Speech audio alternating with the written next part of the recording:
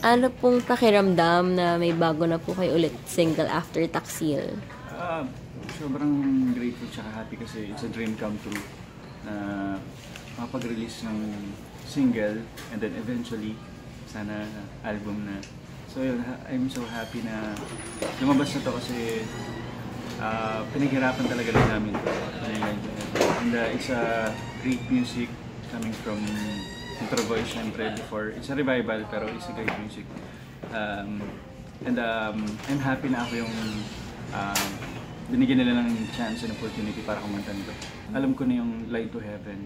And then my manager, ah, sinabi niya sa akin na Paco, Paco, Ar- Aris Paco Tiaga, the drummer of Intro Boys and the composer, ah, parang nag-a-ask siya na kung gusto raw i-revive yung Light to Heaven. So, nagulat ako, syempre surprise ako kasi alam ko yung kanta and alam ko gaano ka-hit yun nung 90s. So, sabi ko, syempre naman gustong gusto ko.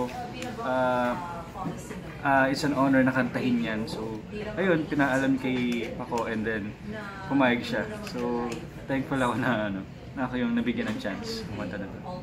Para po sa inyo, ano pong interpretation niyo nung song, nung Line to Heaven?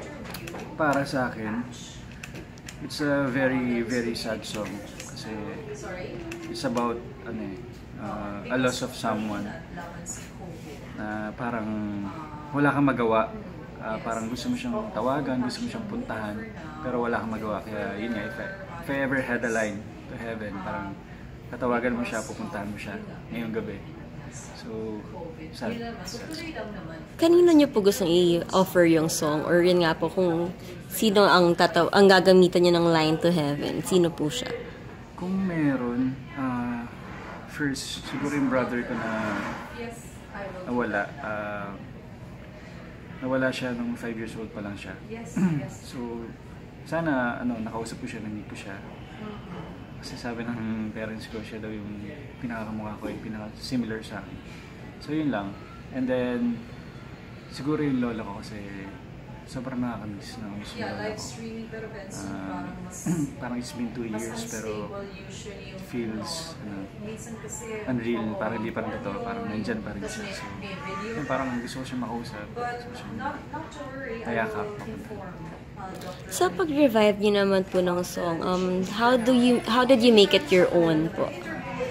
Ah, ginawa ko siyang Jeric Gonzalez na rendition by Uh, parang pina, medyo pinabilis namin yung kanta, ginawa namin alternative. Alternative rock kasi ah, mahilig talaga ako sa mga banda. Nagbabanda ako before high school and college.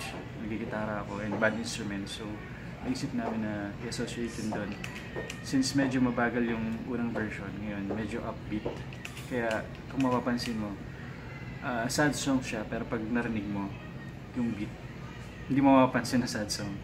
Parang sa, sa meaning na lang and sa pag narinig mo lang yung mga lyrics tsaka kung malalaman na sad song siya. What can we expect naman po from the music video?